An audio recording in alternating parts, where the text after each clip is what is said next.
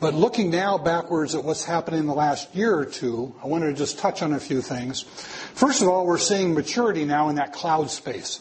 Now you can go and sign up for services in the cloud. Get yourself a server, get uh, infrastructure as a server or software as a service in Azure, Amazon Web Services, and Google.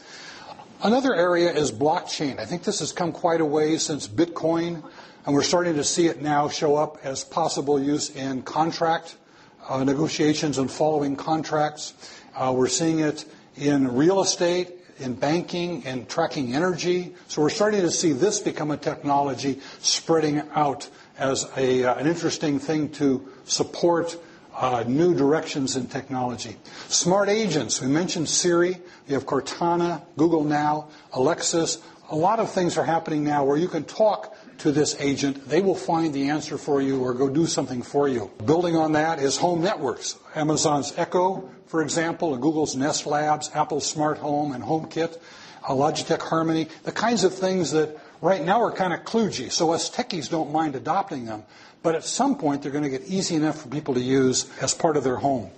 And then I want to spend just a little time on the new Supreme Court ruling.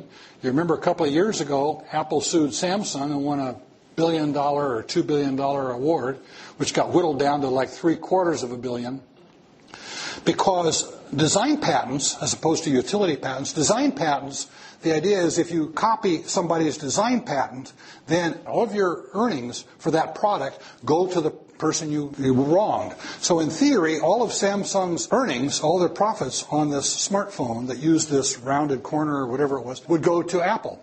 Well, the Supreme Court just this week finally ruled no, design patents have to go as utility patents have done.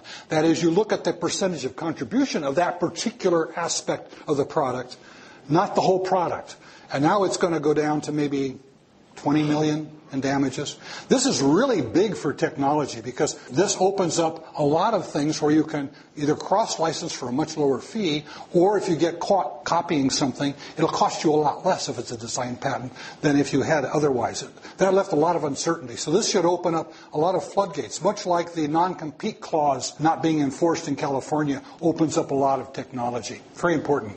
So where are we going from here? What do we expect in the next couple of years? I'm going to spend about 10 minutes talking about where I think technology might be going. So the key fields for the rest of the decade, the next three to five years. The first platform I'll talk about is cellular and then vehicular technology and then talk about some other technologies. So looking at the platforms, the smartphone has really been a great platform for the last decade, and we're seeing it in quite a few areas, taking over with its apps a lot of management, a lot of information, a lot of structure. Well, I see it expanding more into wearables. We have Fitbits and things like that, but I see it expanding now into garments, into hospital beds, into implantables perhaps, to monitor health, focusing on e-health and that sort of thing. So I think there's a lot of mileage still. I think that's where that direction is going to go for that platform. And I bring Samsung in as an example. Here's a company in South Korea uh, that would like to bring lots of technologists together to work on their operating system. But when they acquire a company, it's really hard to get them to move to Korea. So they did a better thing. They built a 1.1 million square foot facility, putting in about three or four hundred million dollars, which can handle 2,000 employees. They're going to work on their phone OS. They're going to work on e-health because that's a big issue in Japan, robotics and so on to help older people that retire. They don't have enough younger people to take care of them.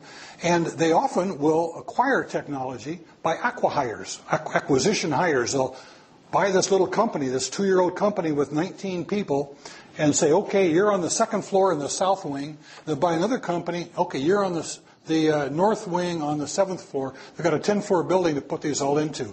And you'll get this synergy, this cooperation, this, this unified Samsung Advanced Technology Lab. And it's growing right now in North San Jose. They dedicated that last September. And so you'll see that kind of thing happening. Samsung's one example. I'll talk about another in automotive. So the next five years, I think automotive is going to be one of the biggest and best platforms for some of the technology that's rolling out.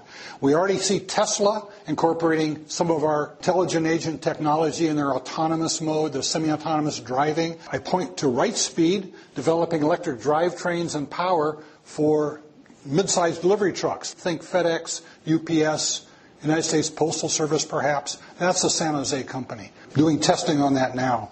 Self-driving trucks, Otto, a Bay Area company, was just bought by Uber. Just drove, what, 15,000 cases of beer to Colorado, Budweiser, with uh, completely autonomous driving, with, of course, a driver watching. But we're going to see this in the next three to five to seven years, this more autonomous trucking happening. Um, the next five years, all the automotive players, the major ones, are in Silicon Valley. Nissan, GM, BMW, Delco, Volkswagen, and Mercedes-Benz have been here for a dozen years. Ford has, has a major expansion in the industrial park right next to Stanford. They're going to have about 200 development people there as their uh, advanced technology group working on automation and self-driving. Uh, they're partnering with Baidu, and they have a partnership now with Velodyne LiDAR, which is in Morgan Hill, which is Silicon Valley, right? Morgan Hill. So they're pulling this all this technology together to inform the designs that'll be built who knows where. Maybe coming out of detroit but they'll be built in tennessee and europe and china. But the technology a lot of it's being developed right here. Toyota is investing $1 billion over five years, most of it here in the Stanford area, some of it in uh, Boston near MIT, to develop artificial intelligence, robotics, for their, not just for their automobiles, but for their production plants and for the Japanese population that's going to need more robots. They bought Harman, old Harman Kardon stereo systems. They do JBL, but they have a car operating system basically that's in many of your cars now. And they bought Harman, uh, which is now investing in Navdy, which uh, you see a heads-up display here, which you can get as, as aftermarket equipment for your car. It goes on the dashboard, plugs into your diagnostic and maintenance port, hooks up to your cell phone, and now you've got all that stuff sitting right there on a heads-up display. Very nifty. That's a, a local company. Uh, autonomous driving modes uh, using LIDAR, uh, better LIDAR systems, inter-vehicle communications. We're seeing more of this starting to develop, uh, different ways to communicate between vehicles to give status so we know that that car is going to change into the right lane. I can do this. Uh, NVIDIA has their Drive PX2, which I show here, which uh, becomes the brains of your autonomous car. They sell that on the market. They have other versions. Intel is getting into this market too.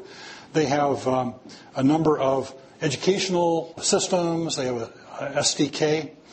Self-driving. Uber now has bought Geometric Intelligence, basically Carnegie Mellon and East Coast companies. They're moving to San Francisco. This is going to be their artificial intelligence and deep learning system. Google, fully automated. That's their objective. Who needs a steering wheel and a brake? It's going to run itself.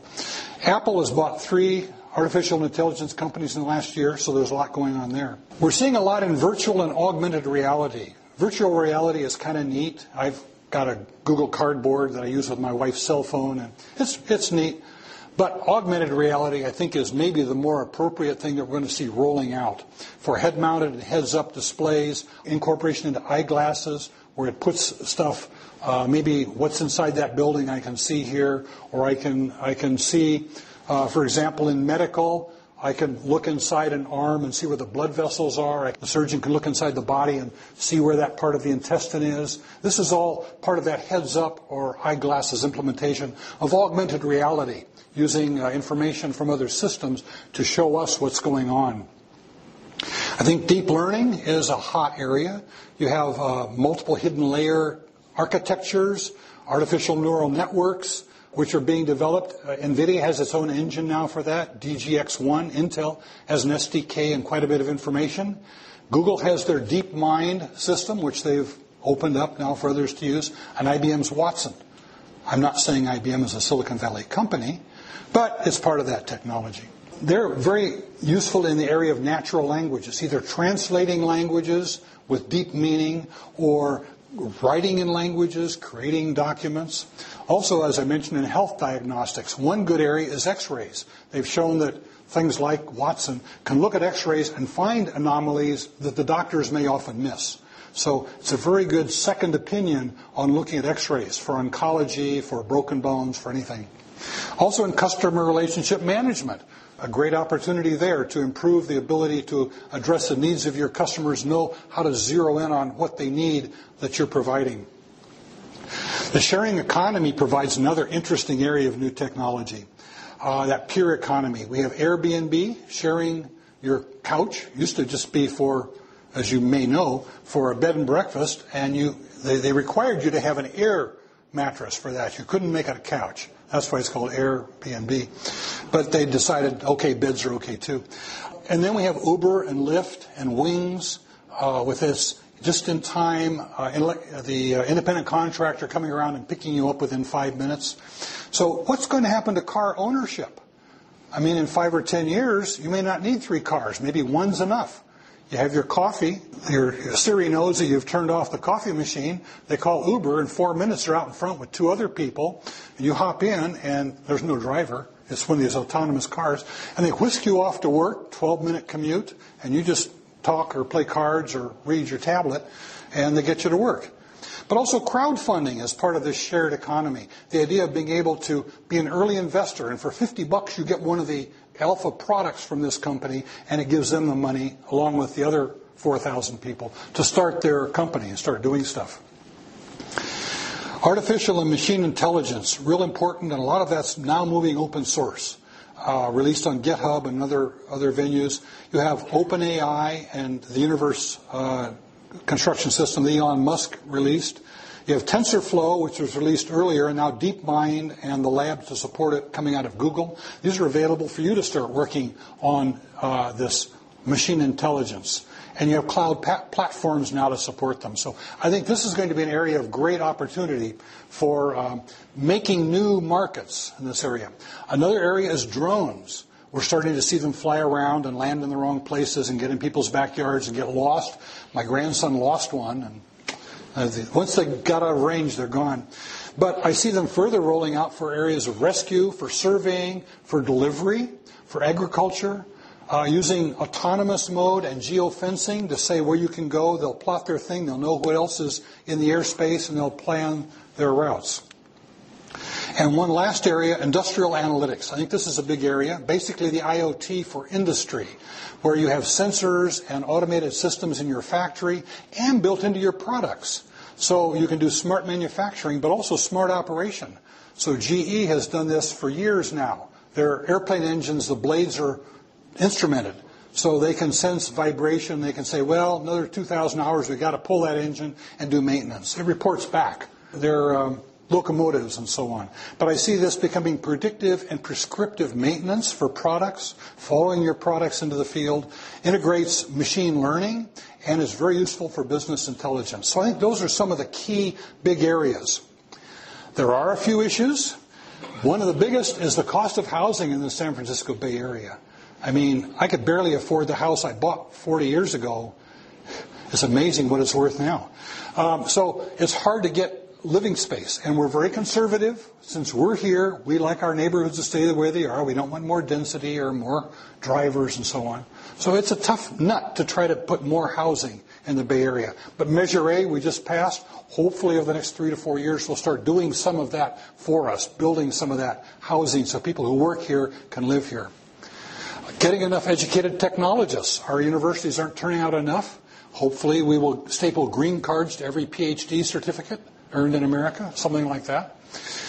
The third area, disrupting of existing business models. We've seen this in all kinds of areas. We see Uber and Lyft disrupting the taxi services in major cities. Well, what about government technology, GovTech?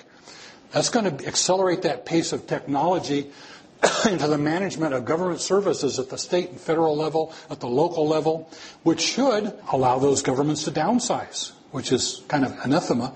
But can you imagine having a government that's 5 or 10% smaller than it was 10 years before instead of always bigger? Maybe this will give us an opportunity to retrain and make more productive those people working on government uh, bureaucracies. But the more broad area of retraining displaced workers hasn't been well addressed. We know we disrupt a lot of industries. We've got to think about what happens to all those people. The shared economy workers, those independent contractors that are out driving, they can drive five hours a week or 40 hours or 70 hours a week. They set their own schedules. But this is a tough business. How do they, uh, how do you help them become more of a uh, regular quasi-employee?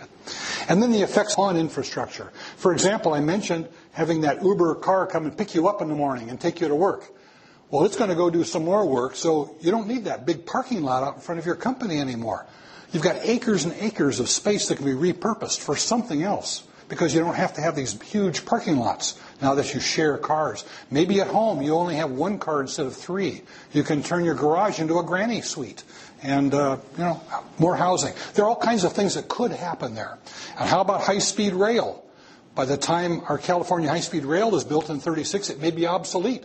That may be $100 billion we spent that could have been spent elsewhere because Interstate 5 will have these cars at five foot intervals going 90 miles an hour in that lane, and you're just playing cards or reading your tablet. And it's two and a half hours to LA. Or maybe you take the, uh, the tube that Elon Musk has proposed, and you hop into that thing and you're there. So this idea of rail is based upon looking backwards, not looking forwards. It's a real challenge.